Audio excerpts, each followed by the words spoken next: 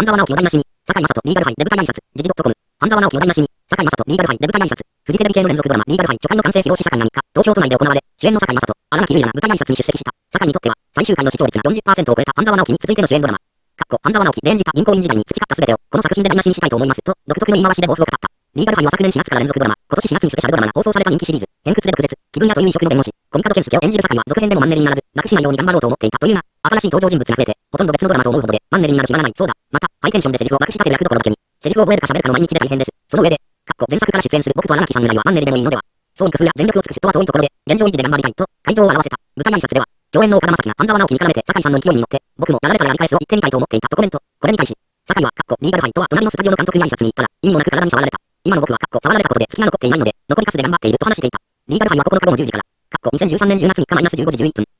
半沢あとはリーガルハイで決まり、半沢ロスの癒し方、ドット、2013年10月7。半沢あとはリーガルハイで決まり、半沢ロスの癒し方、平成の民放ドラマでトップの視聴率を叩き出し、最終回を終えた半沢直樹、かっこ TBS 系、主人公を演じた俳優の堺雅人の次回作に、すでに期待の声が集まっている、ドラマウォッチャーたちに大人が見るべき10月期のおすすめ作品を聞いていた。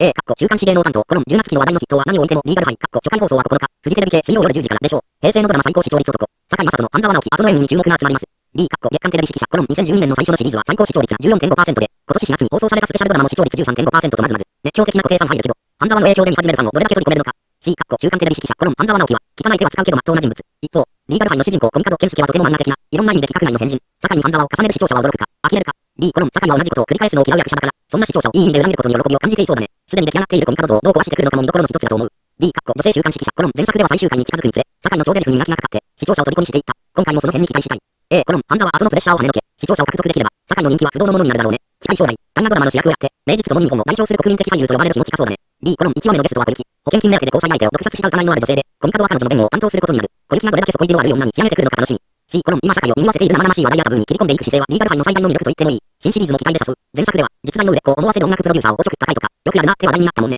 週刊朝日、2013年10月11日号。リーガルハイに佐藤隆太谷村美月が出演決定。2013年10月8日、リーガルハイに佐藤隆太谷村美月が出演決定。シネマトゥデイ芸能ニュース。堺雅人主演の連続ドラマ、リーガルハイ、フジテレビ系で9日スタートの第2話、かっこ16日放送に、佐藤隆太と谷村美月がゲスト出演することが明らかになった。同作は、気分屋では生々な敏腕弁護士、コミカド健介、かっこ坂井と堅物な女性弁護士、成泉真知子、かっこ新垣結衣というデコボココンビの活躍をコミカルに描いた法廷ドラマの新シリーズだ。リーガルハイ、第2話フォトギャラリー、佐藤が演じるのは、時代の寵児ともてはやされるも、インサイダー取引などで実刑判決を受けた天才青年実業家鮎川光、出所した鮎川は、犯した罪以上のバッシングを受けたことで誇りを奪われたとして、マスコミ各社を名誉毀損で訴えることに、そして鮎川に訴えられた一人である漫画家、玉川たまには谷村が扮する。法廷での坂井演じるコミカドとの対決シーンについて佐藤はお芝居、役者としての経験値が僕よりはるかに上で、僕は足を引っ張らないように結果、引っ張ってしまっているかもしれませんけど、少しでもついていけるようにと頑張りましたと述懐。坂井さんは、役者として僕が想像していた以上に、素晴らしい先輩ですと語るなどすっかり坂井に浸水している様子だ。谷村も、リーガルハイは、坂井さん演じるコミカドに限らず、キャラクターが皆さん恋の出まいりました。かっこ笑い。その坂井さんと荒牧さんは、すごく刺激をくださいましたと充実した撮影になったことを明かしている。坂井、荒牧をはじめ今シーズンから新しい世代の弁護士役でレギュラー出演を果たす岡田将生と、佐藤、谷村がどんな掛け合いを見せてくれるのか注目したい。かっこ編集部市川遥。連続ドラマ、リーガルハイはフジテレビ系で10月9日スタート。毎週水曜午後10時から10時54分。佐藤、谷村がゲスト出演する第2話は10月16日放送。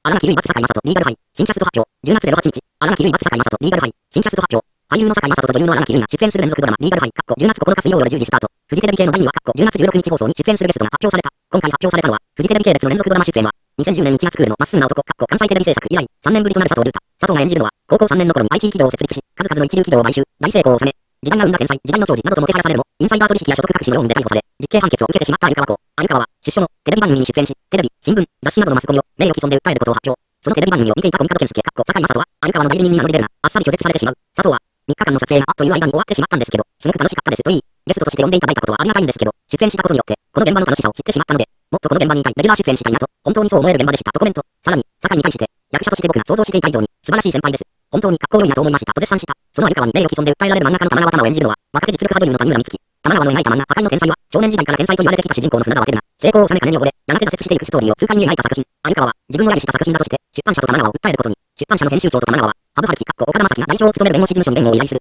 谷村は、坂井さんとは、同じシーンはなかったんですけど、映画その夜の侍で、ご一緒していましたので、なんとなくお人柄は分かっていました。でも、リーガルハイは、坂井さん演じるコミカドに限らず、キャラクターが皆さん恋の出まいりました。かっこ笑い。その坂井さんと荒牧さんは、すごく刺激をくださいました。と明かした。かっこモデルプレス。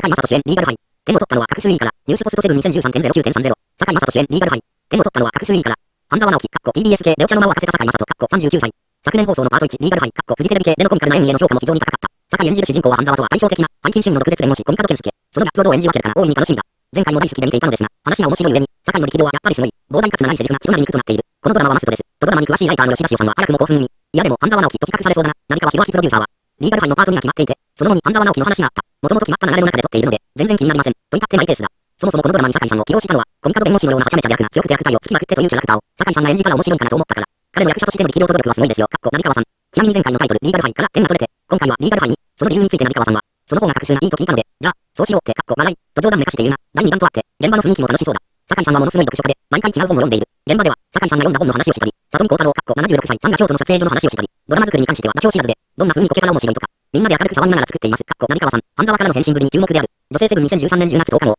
酒井正人、ご神木状態に苦笑リーガルハイ続編やられなくてもやり返す。2013年10月4日、酒井正人、ご神木状態に苦笑リーガルハイ続編やられなくてもやり返す。映画 .com ニュース、絶好調の酒井正人主演最新作。フジテレビ系新ドラマ、リーガルハイ、かっこ10月9日から水曜午後10時の試写会が3日、都内で行われた。舞台挨拶では、半沢直樹を空前の高視聴率に導いた酒井がご神木状態。酒井は月がどうのこうのって、かっこスタッフらに体を触られる日々に苦笑いで、もう月は残っていない。残りカスで頑張りますよと冗談めかし意気込んだ。昨年4月期に初登場、超ゼリフをものともしない酒井の開演な話題を呼んだ人気合計コメディの続編、当たり役再演で、半沢直樹に続きヒットとなるか。酒井は、かっこ半沢で演じた銀行員時代に培った全てをこの作品で台無しにしたいとにあり、共演のカット TUN 関地淳之介、岡田将生は酒井さんの勢いに乗っていきたいと口を揃えた。酒井が演じる毒舌で超アナマな最強弁護士、コミカド健介がパワーアップし返ってくる。法律と笑いの融合はさらに深まり、第1話には半沢直樹を彷彿させるセリフも、やられなくてもやり返す、誰かで構わずやつ当たりだ。酒井はたまたま似た演出になったそうというも、大爆笑を誘っていた。コンビを組むのは、もちろん荒木結衣、コミカド健介と対照的に正義感のあまり融通の利かない弁護士、成泉町子役で、こちらも当たり役。愛されているからこそのシリーズ化で、本当に嬉しいとスマイル全開。続編ならではの難しさも感じていると明かしながら、今回の成泉町子は揺れ動きますと予告。恋キャラクターばかりの中で、負けないよう思い切ってやりたいと力を込めた。舞台挨拶には、他第1話ゲストの松平健が虚弱キャラクターの役作りのまま登壇。ちょんまげではないかつらで異様な存在感を放っていた。さらに、小雪、黒木花、古舘幹事、里見光太郎らが共演する。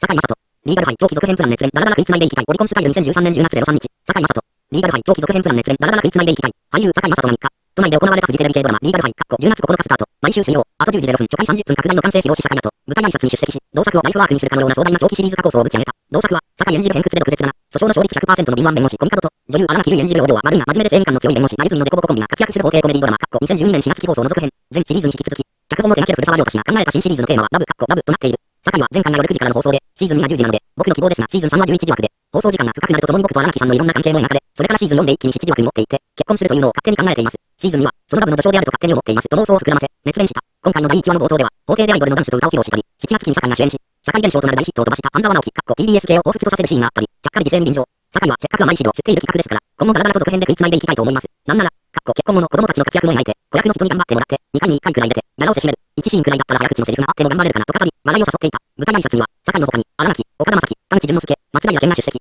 成泉に興味を示すゆとり世代の弁護士役で新レギュラーに加わった岡田はコミカド先生と成泉先生を家族にさせてたまるか、俺は負けねえと酒井に宣戦布告し、場を盛り上げていた。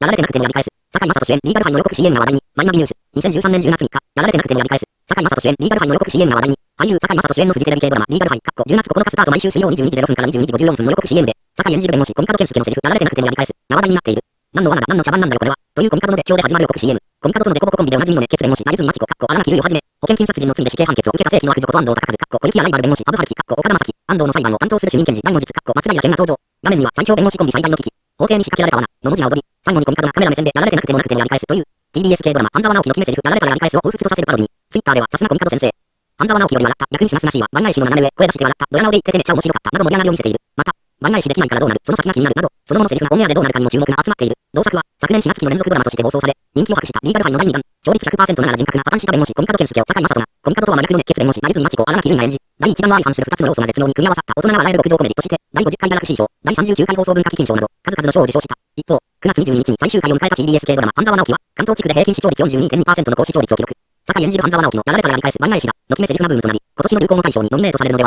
その直後の坂井主演作ということもあって注目を集めていたリーガルハイだが、今回の曲をまたいだパロデでさらに初回放送後の話題を集めそうだ。荒垣結衣、リーガルハイ続編に気合十分恥を捨ててやらないと、スポニチ2013年10月3日、荒垣結衣、リーガルハイ続編に気合十分恥を捨ててやらないと、9日からスタートする坂井正人、かっこ39主演のフジテレビ系連続ドラマ、リーガルハイ、かっこ水曜の10.00の完成披露試写会舞台挨拶が3日、都内の映画館で行われ、坂井をはじめ、荒垣結衣、かっこ25、カチューンの田口淳之介、かっこ27、岡田将生、かっこ24ら出演者が顔を揃えた。坂井演じる破天荒だけど、訴訟で負けたことがない毒舌な敏腕弁護士、コミカド健介が荒木演じる相棒の前泉町子と共に、毎回起きるトラブルや事件をめぐり、法廷で手腕を発揮していく痛快法廷コメディの続編、全シリーズからのキャストだけでなく、新キャストとして、二人と対峙する弁護士、アブハルキ役で岡田、二人が弁護することになる死刑囚、安藤隆和役で第二子出産後初の連ドラ出演となる小雪、かっこ36が加わった。坂井の全クールの主演ドラマ、半沢直樹が記録的なヒットになったということもあり、会見では半沢になぞらえるコメントも多数。坂井も自らせっかく甘い汁を吸ってる企画なので、今後もダラダラと続編を続けていきたいと開き直ってにんまり。そんな坂井演じるコミカドに振り回される役どころの荒木は続編だと、今までのものを期待してくださる気持ちと何か新しいものっていう気持ちがある。どんどん笑いのレベルが上がってて、大変だなと思いながらも楽しい。新メンバーも加わって、新鮮な気持ちでやっています。とにかく一生懸命恥を捨ててやらないと時合い十分。多くの新キャストも加わるな。いい意味では調子が来る。どっちつかずなもやっとしたところが出ていればいい。かっこコミカドとハブの間で揺れ動きます。自分の中の信念を追求していくので、らしさは消えないように頑張ります。と意気込んだ。第1話には正義感が強いベテラン検事役で松平健かっこ59の登場。松平は個性豊かな濃厚な役が多くて、そこにあまり個性のない私がどうやって出ていこうか、悩んだ。今までずっと被るものが多かったので、今回も被るということで少し安心しました。と話し、笑わせた。脚本家古澤亮太が語るリーガル杯魅力は脱定石。MSN エンターテイメントマイナス2013年10月2日。脚本家古澤亮太が語るリーガル杯魅力は脱定石。坂井正人主演のフジテレビ系ドラマリーガル杯が10月9日より連続ドラマで復活する。そこで、転職サイト ORICON スタイルキャリアでは、正義は金で買えるとこれまでの弁護士ものの定石を打ち砕き、背金主義者にして手帳のつく昭和の主人公コミカド健介を生み出した。脚本家古澤亮太にインタビュー。作品ごとにドラマのお約束を打ち破ってきた古澤の仕事論。そして運動屋をも苦しめる毒舌コミカド武士の魅力に迫る。脚本家と俳優の攻防戦。偏屈弁護士コミカド健介ができるまで、古澤にとって、初の弁護士ものとなったリーガル杯。昨年のファーストシーズンでは放送が始まるや否話題を集め、離婚問題から大手で猫も相手取った日証券裁判に、SP ドラマでは学校でのいじめ問題まで、あらゆる訴訟案件が用いられた。最初にコメディをやろうというのは決まっていましたが、その他は何も決まっていなかったという同作だな。特筆すべきは過去の弁護士ドラマのお約束が一切登場しない点ではないだろうか。法廷で弁護士が殺人事件を解決しないし、人情派弁護士がトラブルシューターとして姿勢の人々を救うわけでもない。主人公のコミカドは、金こそ正義を掲げる偏屈極まりない切れ者だ。古沢は主人公をとにかくネチネチした闇なキャラクターにしようと思いましたと語り、その意図に応えるように、演じる側の酒井は早口という武器を用いて、さらにコミカドを強烈さらに、酒井さんが思っていたよりも随分早口で演じられたので、かっこドラマの後半はコミカドのセリフ量がかなり増えていきましたと、テレビの裏側では俳優と脚本家の意外な攻防戦が繰り広げられていたようだ。毒舌コミカド武士には、運動屋も宿泊。コミカドは定番の決めセリフこそ持たないが、回を重ねるごとに毒舌ぶりは加速。どんな短いシーンにも、古沢らしかけた毒が散りばめられている。かっこ著作権でネズミの国がどれだけ稼いでいると思っているんだ。正義は少年ジャンプの中にしかないと思え、などなど、パンチの効いたセリフは、見る側にある種のカタルシスさえも、もたらした。劇中、コミカドに弁護士としてのスタンダードな良心が芽生えることはなく最終回へ。この作品で古沢は主人公とは物語の中で心身ともに成長しなければならないというセオリーを完全無視、新たなヒーロー像を生み出した。しかし、コミカドのあのキャラクターには、書いている僕自身もこんなされることもあるんですよと思いもよらない一言が漏れる。例えば、普通のキャラクターであればさらっとしたセリフのやり取りで済むシーンでもコミカドだからなと、いちいちひねくれた表現をひねり出しています。なんでこのシーンでこんなに時間がかかるんだって、毎回苦しみながら書きますと、コミカド節は運動屋の手を煩わせているようだ。依頼があれば何でも書きますよ、かっこ笑い。朝ドラでも大河でも、新シーズンでは、いよいよ弁護士としての正義感、人間としての誠実さなどを身につける。新しいコミカドの誕生にも期待がかかるな。新しい一面はもしかしたら出てこないかもしれないですね。毒気もさらに強まるといったところです。と服に笑い。続編の話が決まった時は、もうネタないなーなんて思いながら始めたんですけど、書き始めたら思いのほかありましたねと余裕の表情を浮かべる。ちなみに、劇中では荒木優が演じる新米弁護士、成泉真知子の情熱一直線な人柄を、コミカドは朝ドラのヒロインみたいな奴らの親にすることもたびたびだったな。今後朝ドラの仕事が来た場合は何でも書きますよ、かっこ笑い。朝ドラでも大河でも、と、コミカドさながらの不適発言、かっこ、もとび出した。最後に、今後の脚本家としての展望を伺うと、とにかく面白いものもダメなものも、たくさん書いて全部使い果たして死にたいと思います。どこかで区切りをつけて、余生をのんびり過ごすとかじゃなくて、もう空っぽになるまで書き切って、締めたらいい。ドラマ、リーガルハイは10月9日水曜午後10時より放送スタート。新レギュラーに岡田将生、小雪、黒木花を迎え、初回放送には松平健の出演が決定しており、キャリア初の検事役でドラマを盛り立てる。インタビュー、坂井正人主演、リーガルハイ、半沢直樹、終え、銀行から法廷、シネマカフェ .net。坂井正人主演、リーガルハイ、半沢直樹、終え、銀行から法廷、2012年4月期に放送され、今年4月にスペシャルドラマとして一夜限りの復活を果たしたリーガルハイの続編がいよいよスタート。偏屈、毒舌、皮肉や、気分や、浪費家という人格破綻者にもかかわらず、訴訟の勝率100%を誇る敏腕弁護士、コミカド健介という強烈なキャラクターを、坂井正人さんが引き続き演じます。弱者救済の使命に燃える真面目な女性弁護士、成泉真知子演じる荒木瑠衣さんとのコミカルな掛け合いが人気の弁護士ドラマ。今回の新シリーズでは、コミカド成泉のデコボココンビに新たなライバルが登場。変わり者のコミカドすら魅了してしまう天性の人たらしで、誰とでもボーダレスで付き合えるゆとり世代の若き弁護士、アブハルキというニューキャラクターが二人の前に立ちはだかります。息の合った芝居を見せるレギュラーキャスト陣の中に、物語の鍵を握るハブ役の岡田将生さんが加わり、さらにパワーアップしたリーガルハイ。待望の新シリーズのスタートを前に、主演の酒井さんが本作の見どころ、意気込みを語ってくれました。リーガルハイの続編がついにスタート。待望のシリーズ化、再び、コミカド健介というとても癖のあるキャラクターを演じてみて、いかがですか連続したシリーズへの出演は初めてですが、その分の時差も十分に見越した上で、脚本の古澤亮太さんは書いてくれていると思います。古澤さんの本は本当に楽をさせないというか、今はしんどいよね、と、弱音ばかり書いている状態で、一回演じた役だから余裕を持って演じられるようになったわけでなく、周りのスタッフや古澤さんから刺激を受けながら、新しいものを作っているような感覚ですね。リーガルハイの魅力はどこにあると思われますか僕は古澤脚本に面白さがあると思います。新シリーズの魅力はまだはっきりわからないですが、安易な答えに落ち着かないことは確かでしょうね。一流の脚本家である古澤さんと同じ時代を過ごせたことを幸せに感じますし、古澤作品にまた関われたことを嬉しく思います。古澤脚本を映像化する上での難しさは、この作品では価値観が2点3点しますよね。一つの世界観を作っておいて、それを崩してまた戻す。これは、監督さんやスタッフの方が、本当に腕がないとできないことだと思います。相当ハードルの高いことをされてるんだろうなという気がします。インタビューの続きはテレビのバッチへ。